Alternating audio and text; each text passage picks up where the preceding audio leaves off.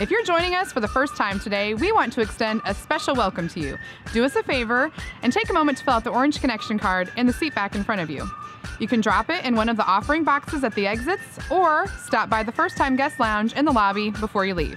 We would love to meet you, and we have a special gift to say thanks for being here. It's beginning to look a lot like Christmas. The opportunity to help others in our church family and around our community continues with the LifePoint Angel Tree. Grab a tag from the tree in the lobby, buy the item on the tag, wrap it, and attach the tag to the gift. Return the gift to LifePoint anytime before December 14th.